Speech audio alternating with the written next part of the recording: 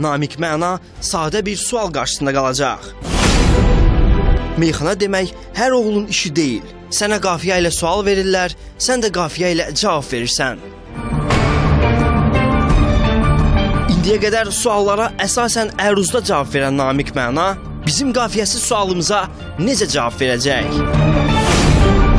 İddialı meyxanaçılar həmişə özünü məhd edir ki, qarşısındakı meyxanaçını sakitləşdirsin. İsə sualımıza cavab versin. Meyxanaçılar ordusunda Namik Məna hansı rütbədədir?